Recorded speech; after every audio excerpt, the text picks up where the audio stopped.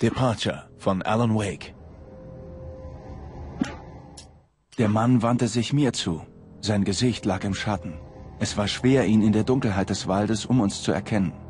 Die Axt, die er hochhob, war jedoch gut zu sehen. Auf ihr glitzerte das Blut seiner Opfer. Er grinste irre. Die Schatten lebten und verzerrten sein Gesicht. Eine Szene aus einem Albtraum. Doch ich war hellwach. Der Besessene stand vor mir. Ich konnte mich nicht auf ihn konzentrieren, als stünde er in einem toten Winkel wie bei einem Hirntumor oder einer Augenkrankheit. Er blutete Schatten, wie Tinte unter Wasser, eine Blutwolke von einem Haibiss. Ich hatte Todesangst. Ich drückte wie verrückt auf die Taschenlampe, um das Wesen davon abzuhalten, näher zu kommen. Plötzlich tat sich etwas, und das Licht schien heller zu leuchten.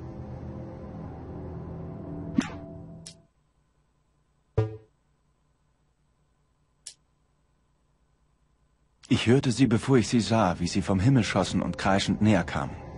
Ich wirbelte herum, gerade als die Wolke über mir war. Kurz starrte ich in hundert tote Augen, glitzernde schwarze Perlen in der Finsternis. Ich hob die Taschenlampe und der Schwarm explodierte wie ein Silvesterkracher. Federn verbrannten zur Asche. Ihre Schreie überdeckten meine eigenen.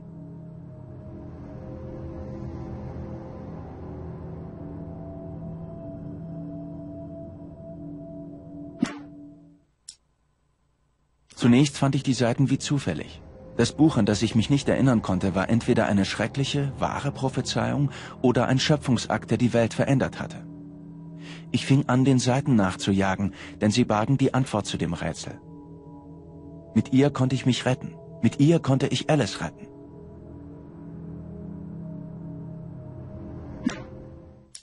Ich betrat die Garage der Tankstelle. Dort war es dunkel und still.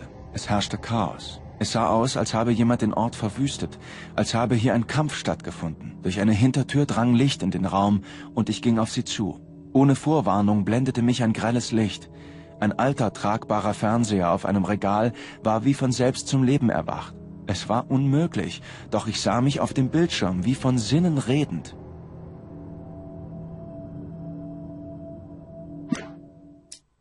Die Hütte am Cauldron Lake? fragte sie. Der Sheriff sah mich misstrauisch an. Das Morgenlicht schien durch die Bürofenster. Ohne ihre Hilfe wäre ich wohl nie lebend aus dem Wald gekommen. Und doch konnte ich ihr nicht sagen, was mir wirklich passiert war. Sie würde glauben, ich sei ein Lügner oder verrückt. Sie würde mich einsperren. Und sie würde mir nicht helfen, Alice zu finden. Stucky spuckte auf den Garagenboden und versuchte, die Spinnweben abzuschütteln.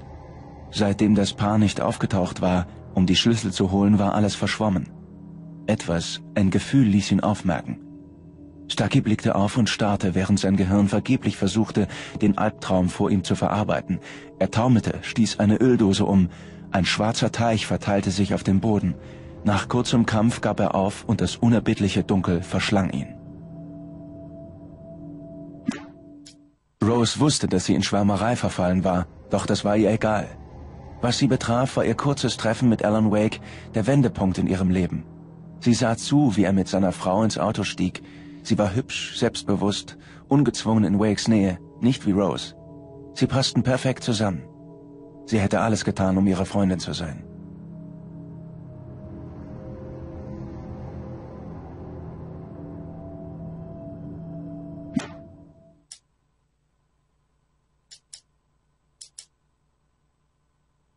Barry Wheeler war extrem nervös. Er war in den Flieger gestiegen, nachdem Al und Alice tagelang seine Anrufe ignoriert hatten. Das konnte heißen, dass sie ihre zweiten Flitterwochen genossen, aber das glaubte Barry nicht. Al war dafür zu labil gewesen, konnte nicht schlafen, war ausgelaugt. Barry hatte jahrelang Erfahrung mit Alan Wake und er wusste es einfach. Etwas stimmte nicht.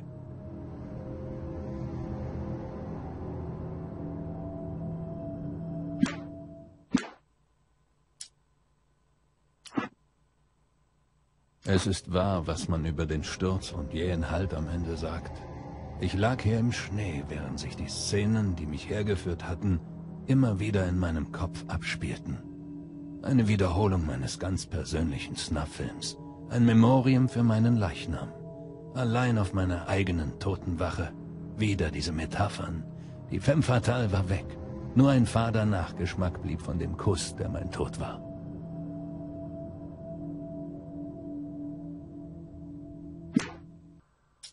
Das hier war ein spätes Lebwohl. 13 Jahre nach meiner Rache hatte es mich schließlich eingeholt. Ich musste nun schon einige Zeit lang die Peiner dulden. Mein Blut färbte den Schnee rot. Ein grauenvolles Gebräu, in dem sich alle Schmerzmittel auflösten. Es tropfte gemächlich in den Gully herab, wo es mit der Gallenflüssigkeit der Stadt eins wurde. Ich kann sie nun sehen, meine Frau und mein Baby. So ist sie. Ich bin zu Hause. Das Dunkel als intelligent zu beschreiben hieße, etwas gänzlich Unmenschlichem mit menschlicher Maske menschliche Qualitäten zu unterstellen. Trotzdem fand es den Ort im Restaurant, der dunkel genug war. Etwas Licht drang in den Korridor, riss an ihm, aber es erduldete den Schmerz. Der Schreiber würde das bald beheben. Er würde zu dem Ort kommen, an dem es noch Macht besaß. Der Entführer feuerte noch ein letztes Mal und der Schatten verschwand in der Finsternis, aus der er gekommen war. Da, keine große Sache, Wake. Dass sich Alice in seiner Gewalt befand, machte mich krank. Wir standen auf der Holzplattform von Lovers Peak. Wasserfall und Berge lagen hinter uns, über uns blickten die Lichter des Antennenmastes. Ich rang den Drang nieder, ihm eins zu verpassen und zwang mich zu sprechen. Also zur Sache, wo ist meine Frau? Alice sah durch den Sucher und konzentrierte sich. Cauldron Lake war atemberaubend. Etwas zog ihren Blick auf sich. Eine Gestalt in den Schatten hinter der Hütte, wie eine dünne Frau in einem schwarzen Kleid. Alice senkte die Kamera und sah wieder hin. Niemand. Nur eine Ansammlung von Büschen mit entfernt menschlichen Umrissen. Sie schüttelte den Kopf und lachte. Barry hatte sich nie mit Alice verstanden, aber er wusste, dass Alan sie mit fast beängstigender Intensität liebte und nun war Alice etwas passiert. Und hier war Al, bewaffnet und Dinge sagen, für die Menschen in Gummizellen wandern. Es war, als hätte sein Freund einen massiven Nervenzusammenbruch erlitten und sei nun völlig von der Wirklichkeit abgeschnitten. Barry war völlig entsetzt. Die Luft im Besucherzentrum war von Gestank durchzogen, als wäre eine verrottete Wasserleiche aus ihrem Grab gestiegen. Rusty hustete weiter Blut. Mein Blick fiel auf sein verdrehtes, gebrochenes Bein. Der Angriff war brutal gewesen. Max jaulte in seinem Käfig. Fieber und Entsetzen weiteten Rustys Augen. Er keuchte. Mr. Wake, es ist so passiert wie auf der Seite. Das Besucherzentrum war robust, doch der Aufprall zertrümmerte die Vorderseite völlig. Rusty wurde durch die Lobby geworfen und prallte hart gegen die Wand. Es tat erst weh, als er versuchte, sein Bein zu bewegen, das in die falsche Richtung abgewinkelt war. Er spürte den Stich der gebrochenen Rippe und heulte auf. Er hatte Angst, allein zu sterben. Im letzten Moment änderte ich die Richtung und warf mich nach unten. Die Axt zerfetzte einen Baumstumpf. Ich stolperte in den Ring aus hellem Licht. Meine Lungen brannten. Ich war zu erschöpft, um mich zu bewegen. Ich wartete angespannt auf den tödlichen Streich, doch er kam nicht. Ich hob meinen Kopf. Nichts bewegte sich dort in der Dunkelheit. Für den Moment war ich, gebadet im kalten Licht, in Sicherheit.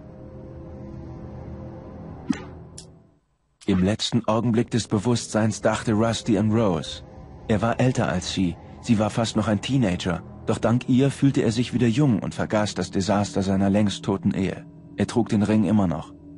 Er hatte gewartet, dass sie ihn bat, ihn abzunehmen. Das würde sie nun nie tun.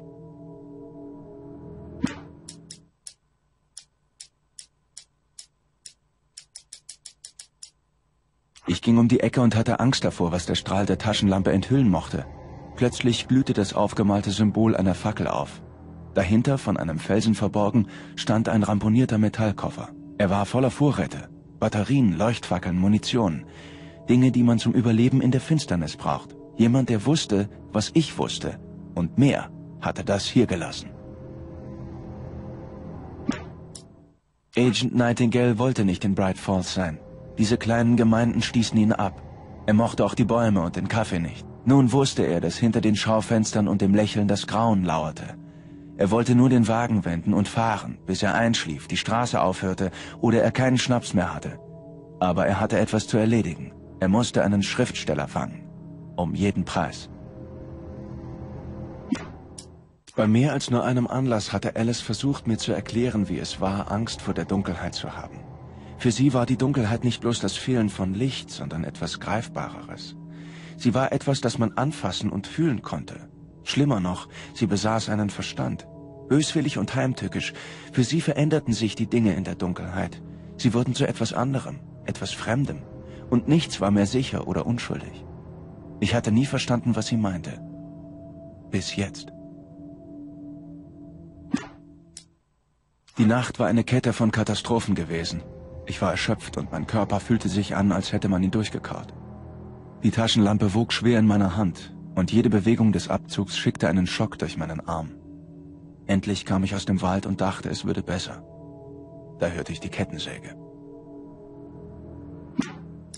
Als Barry das Dunkel des Besucherzentrum angreifen sah, verschwanden seine Zweifel. Die Menschen, die Al erschossen haben sollte, waren keine verrückten Einheimischen gewesen.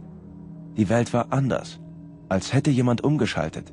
Man glaubt, man sieht eine Sitcom, schaut aber eigentlich eine Horrorshow. Als die Vögel auf die Hütte losgingen, war Barry nicht überrascht, nur entsetzt.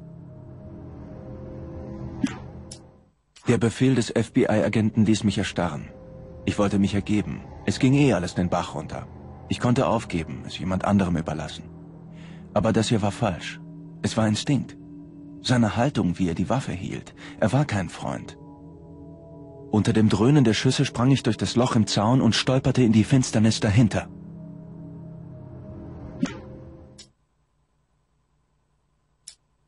Rose wusste, dass Rusty in sie verliebt war, und er gefiel ihr auch. Sie mochte ihn sehr. Er hatte ihr das Tanzen beigebracht, und das Leben hatte sie auf schmerzhafte Weise gelehrt, einen sanftmütigen Mann zu schätzen. Aber der liebe Rusty war nicht ihr Traumprinz, und das unterstrich die unerträgliche Wahrheit nur noch, dass sie der Magie Hollywoods kein Stück näher war als er.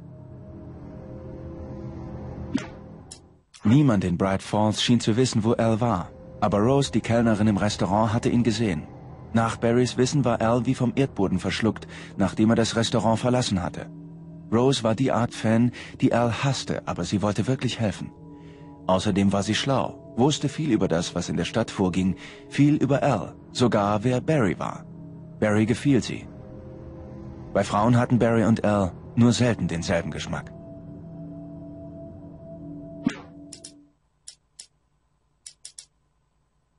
Die Klageandrohungen von Wakes Agent waren Sarah egal. Sie ließ Wake ohne Diskussion gehen, weil er etwas an sich hatte, das sie noch nicht einschätzen konnte. Etwas, das sie an ihren Vater erinnerte. Sie glaubte nicht, dass Wake seiner Frau etwas antat. Dann fiel ihr ein, wie er auf Hartman losgegangen war, wie sein Zorn ohne Vorwarnung hervorbrach.